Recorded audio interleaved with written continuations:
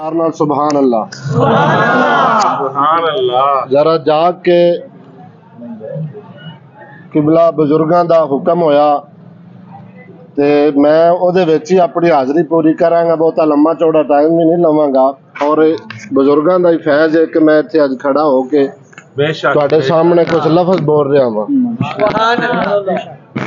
मिल के जरा एक बार दरूद पाक पढ़ो सिर्फ एक शेर पढ़ांगा हजूर सैयद गौसे पाक रज़ी अल्लाह अनहो दे मनकबत दे अंदर मिल के जरा पढ़ लो, सल्लल्लाहु अलैहि वसल्लम। अल्लाह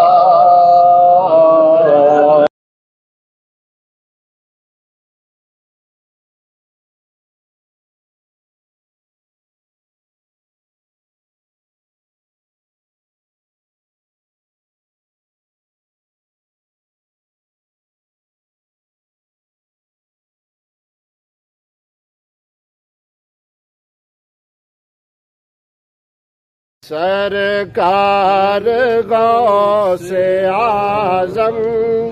कोई भी ज़ुबान खामोश न रवे सारे अज आस्ताना आलिया कादरिया ते तशरीफ़ लियाए बैठे हैं और बुज़ुर्ग भी साडे सामने तशरीफ़ फरमाने इन्हां दे तसद्दुक नाल अज हुजूर सैयद हुजूर सैयद अब्दुल कादर जिलानी रदी अल्लाह ताला अनहो दे तसद्दुक नाल असी अल्लाह दी बारगाह च दुआ करनी है की दुआ करनी है कोई ज़ुबान भी खामोश न रवे सरकार गौसे आज़म नज़र करम खुदारा,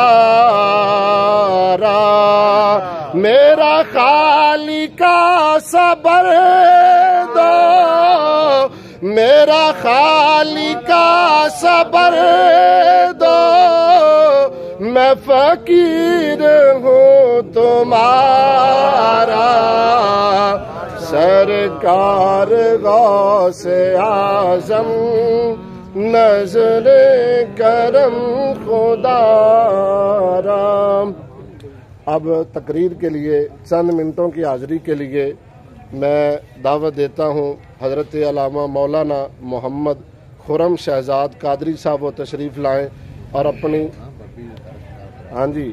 आ, ये साहबजादा भी हैं और किबला बाबा जी मोहम्मद मियाँ मोहम्मद मुश्ताक साहब उनके साहबजादा हैं।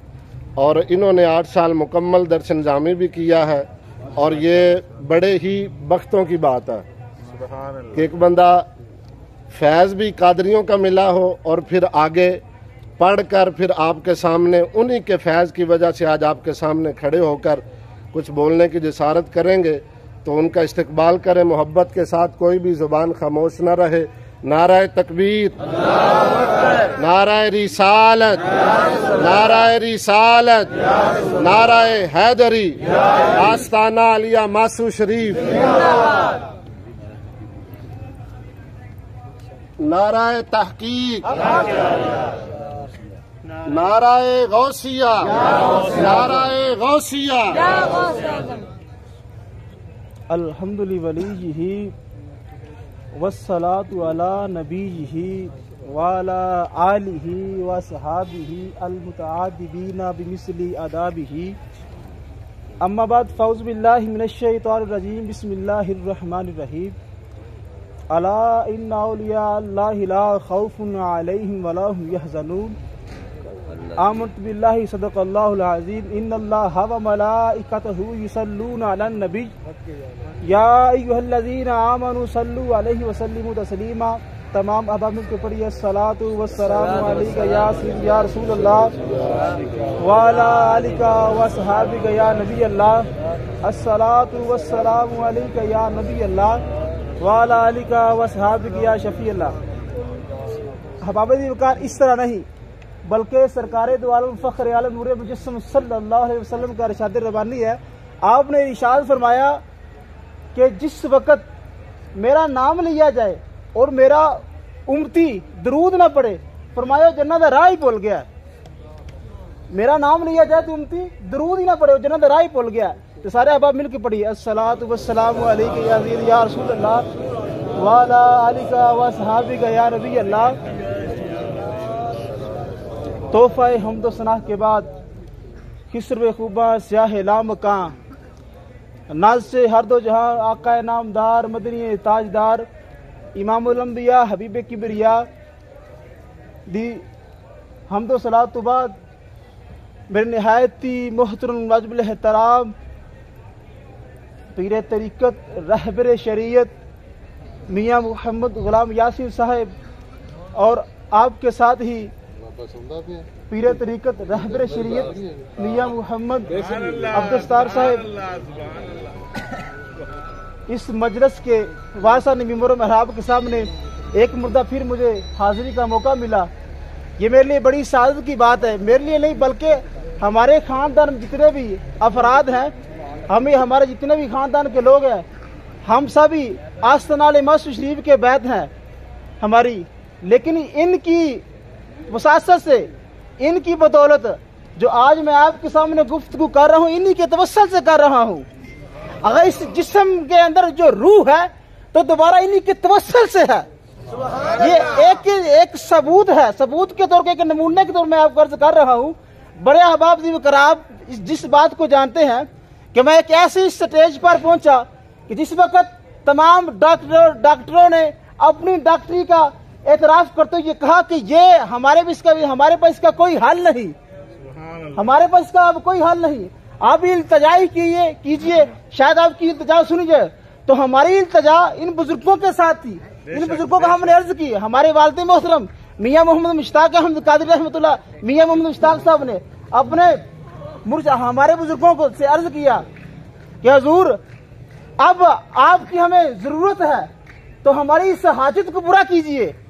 तो अल्लाह तबारक वाली के फजल से जो रब ने फरमाया, हदीस मुस्तफ़ा है रब ने फरमाया कि मैं वलियों के तोसल से मुर्दों को ज़िंदा करता हूँ, मैं वलियों के तोसल से बारिश को नाजल करता हूँ, मैं वलियों के तोसल से ज़मीन से फल को उगाता हूँ, मैं वलियों के तोसल से माँ को बेटे अदा करता हूँ। यह हदीस इमाम इमाम मोजुल कबीर में लिखी गई इमाम मोहम्मद ने अपनी किताब में इसको लिखा और इसका हवाला और इसके इमाम मोहम्मद ने अपनी किताब में लिखा।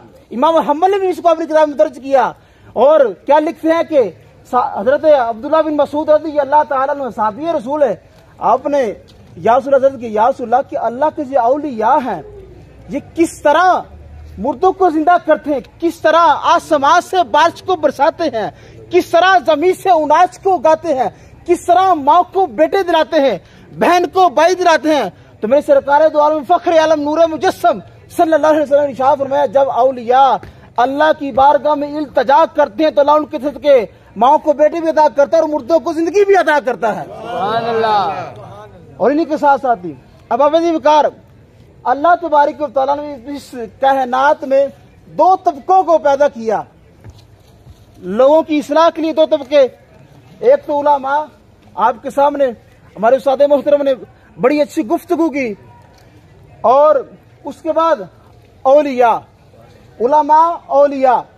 अब आप सुने उलमा का काम है बंदे को तहारत के मसाइल से आगाह करना पकीजगी के मसाइल से आगाह करना उसको पकीजगी के मसाइल से आगाह करना। जहरी तहारत। जिसमानी तहारत। वज़ू के मसाइल फरमा रहे थे गुस्से के मसाइल फरमा रहे थे? इस तरह बंदे को आगाह करना, उसको सिखाना कि तेरा ये हलाल है, तेरा ये हराम है, तू न पाक है कि तू पाक है, तेरा वज़ू नाकस के तेरा वज़ू कामल है? ये उलमा का काम है। और फरमाया, अल्लाह ने जो दूसरा तबका पैदा किया वो औलिया का है। फरमाया, उलमा का काम यह है कि बंदे को तहारत के मसाइल से आगाह कर कर मसल्ला रसूल पर खड़ा करना और और अल्लाह की औलिया का काम है कि बंदे को रब से मिला देना। औलिया का काम है उलमा का काम है कि बंदे को तहारत के मसाइल से आगाह कर कर उसको मसले पर खड़ा कर देना। और आगे अगले अगले तबके का जो काम है, अल्लाह की औलिया का उनका काम है कि बंदे को रब से मिला देना। अल्लाह तबारक के फजल से अल्लाह ने दो तबके पैदा किए। और आप, हमारे लिए एक बहुत ही खुशखबरी है। पहले हमारे इस जामिया में और इस आस्थाने में ये सहूलत मौजूद नहीं थी। और अब रब के फजल से रब की अनाज से हमारे पास सहूलत मौजूद हो सहूलत मौजूद है। लेकिन इसके अब दो फ़ायदे हो रहे हैं। उलमा और औलिया हमारे बुज़ुर्ग उलमा भी उलमा में भी शामिल है। यानी जिस्मानी तहारत को भी पाक करते हैं और दिल की दिल की पलीती को भी पाक करते हैं।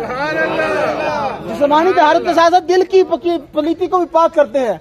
और ये जो औलिया है, अब देखिए, इनका फ़ायदा क्या है? ये जो हम मैं बातें कर रहा हूँ मैं बड़े। इसकी मैं दलील दूँगा, जो भी मैं बात कर रहा हूँ, कि जो अल्लाह तबारक के औलिया है, अल्लाह ने फरमाया, जो मेरे औलिया है, खबरदार खबरदार, इन, ये खबरदार एक एक बंदे को वजाहत कि भाई, रुक जा, अगला बंदा बड़ा डाटा है उन्हें गल नहीं करनी। नहीं तो देर से पंजाबी कन्नै पर्चा बड़ा बड़ा हो तो सारी उम्र बाहर नहीं आना। इसमें अच्छी एक मिसाल देगा। बंदे ਨੂੰ खबरदार कि जा जी इस तरह के एक बिजली का टावर लगा ਹੁੰਦਾ ਹੈ ਤੇ ਉਹ ਨਿਸ਼ਾਨ ਬਣਿਆ ਹੁੰਦਾ ਹੈ ਖਬਰਦਾਰ ਹੱਥ ਲਾਏਗਾ तो मर जाएगा रब ने फरमाया कि समझ आ जावे ना खबरदार औली मेरे जी रब ने फरमाया खबरदार औलिया मेरे बंदे ना तो उनको कोई खौफ है ना ही उनको कोई गम है ये बात तो क्लियर कर दी अब माना खबरदार का क्या है फरमाया जो बंदा मेरे औलिया के बारे में नाजायज गुफ्तगु, यानी बेदबी करेगा। बेदबी करेगा तो वो ईमान से खारिज हो जाएगा। मैं उससे, इससे पहले एक और मिसाल से देकर वजाहत करना चाहता हूँ कि जब ये जो हमारी जो जहरी ज़िंदगी है, इसके अंदर जो रूह है, जहरी ज़िंदगी के अंदर जो रूह है, हम ड्राइव सफ़र करते हैं। तो जब सफ़र तवील करते हैं तो रस्तों में लिखा जाता है कि खबरदार, क्या हुआ? गाड़ी आस्था चलाएँ।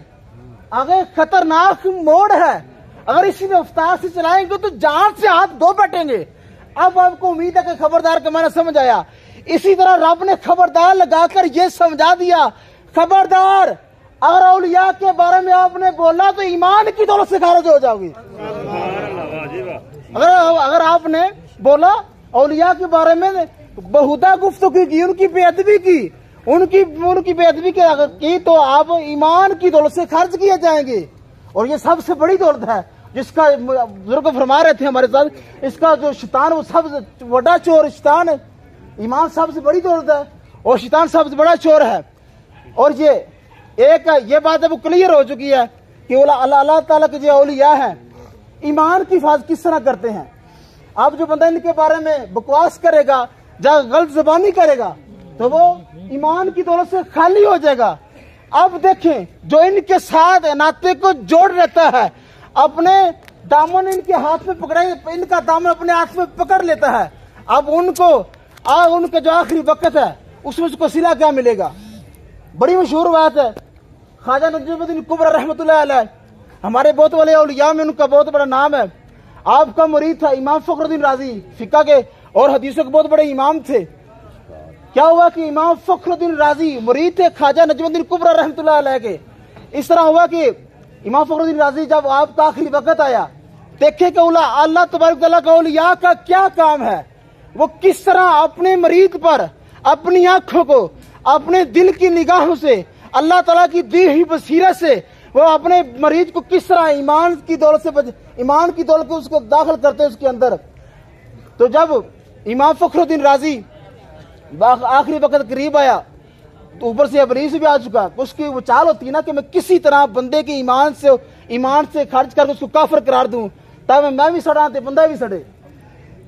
अबलीस आया इमाम फखरुद्दीन राज़ी को दसो जी, रब एक के हाँ जी फरमाया जी हाँ एक के तो केंजे एक के थम दलील दो आप बहुत बड़े इमाम थे, आप घबराए नहीं, फरमाया मेरे इलम बहुत आपने एक दलील दी। जी, मैं रब को फलां दलील से एक मानता हूँ। आगे अबलीस था, इसका नाम असल में अदाजील था। अदाजील से अबलीस हुआ। कोई बंदा जब नेक हो, नेक माल करे तो साले कहा जाता है। और जब बुरे माल करे तो बदबख्त कहा जाता है। नेक बख्त करे तो नेक नेक बख्त। और जब बुरे माल करे तो कहा बदबख्त है। पहले अदाजील था, बाद में अबलीस हुआ। अबलीस आया, कहने लगा कि नहीं नहीं नहीं। फला दलील दलील दलील दी। और कहा कि इमाम इमाम साहब, इस दलील में आपकी रद्द करता हूँ। आपने फरमाया, कोई बात नहीं, एक और दलील दी। इसी तरह ये तवील सिलसिला चलता चलता रहा। हत्या कि इमाम फखरुद्दीन राज़ी फिका के बहुत बड़े इमाम थे। आपने 360 दलीलें। दी शैतान को लेकिन उस इबलीस ने 360 दलीलें रद्द कर दी और यहाँ पीर की नज़र हुई। ख्वाजा नजमुद्दीन कुबरा ख्वाजा नजमुद्दीन कुबरा अलैह आपने देखा कि मेरा मरीज़ जब शैतान के चुंगल के अंदर वो फंस चुका है। तो आप वज़ू कहते हदीस में अरवैत में कि आप वज़ू कर रहे थे और आपने चुल्लू पर पढ़ लिया। और मरीज़ के, मरीज़ की तरफ़ फेंका उसकी आँखों पर, उसके चेहरे पर, और कहा कि वहाँ से पानी भी फेंका और आवाज़ भी लगाई कि इमाम फखरुद्दीन राज़ी, तू इस लाइन को क्यों नहीं कहता? मैं रब को बगैर दलील से मानता हूँ। तू क्यों नहीं कहता मैं रब को बगैर दलील से मानता हूँ? अब ये देखिएगा मैंने जो बात की, इसके अगले अब और दीस है। कि हाँ जी, अल्लाह तला की जो औलिया है, इनकी जो आवाज़ है, वो किस तरह बुलंदियों को छूती है या पहाड़ों को भी क्रॉस करती है? तो सरकार तो अल्लाह सरकार तो फख्र आलम वसल्लम आखिरी हदीस है। आपने निशान सुनाया जब अल्लाह ताला किसको बड़ी मशहूर है, अपना महबूब बंदा बना लेता है तो अल्लाह तबारक ताला फरमाता है, जब बंदा उसका अल्लाह का महबूब बंदा बन जाता है तो रब फरमाता है कि मैं फिर उसके हाथ बन जाता हूँ। हदीस बुखारी शरीफ है। मैं उसके, जब वो चलता है तो मैं उसके पाँव बन जाता हूँ। जब वो पकड़ता है तो मैं उसके हाथ बन जाता जब वो देखता है तो मैं उसकी आँखें बन जाता हूँ। फरमाया अल्लाह तबरक ये अल्लाह तबरक तला ये औलिया है। जब ये अल्लाह तबरक से मोहब्बत करते हैं तो चाहे कोसों फासले हो अल्लाह की दी हुई ताकत से ये बंदे के ईमान को भी बचा देते हैं। दुआ है कि जो हमने सुना हमारे आने का जो मकसद है वो, वो, वो मैंने तीन बातें की एक तो ये है एक तो इस हमारे अदारा में उलमा का भी काम हो रहा है और दूसरे नंबर पर हमारे अलिया भी हैं, और तीसरे नंबर पर यह है कि हम इनकी की किसी भी अलिया अल्लाह की बेदबी नहीं करनी चाहिए। जो भी अलिया की बेदबी करेगा, वो ईमान की दौलत से खारिज हो जाएगा।